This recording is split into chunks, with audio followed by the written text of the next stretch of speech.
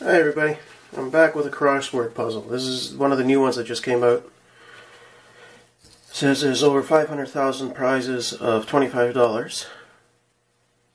Uh, get two words, I get three bucks. Get 11 words, I get 50,000. Okay, let's see what happens.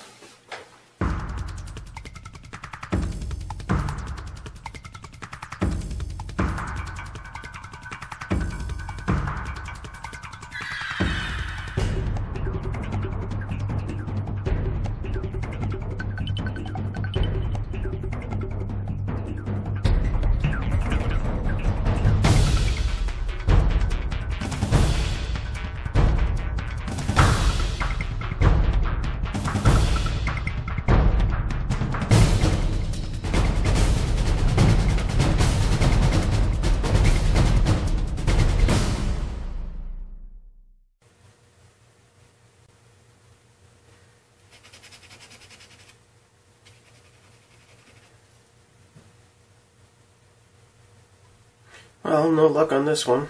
Just one word, and one word doesn't get you anything.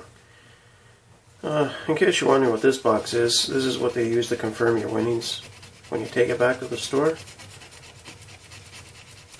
You can get this scan, it'll tell you if you're a winner or a loser. Well, I already know what this one's going to be. Uh, thanks for watching. Please subscribe. Hopefully I'll get something next time.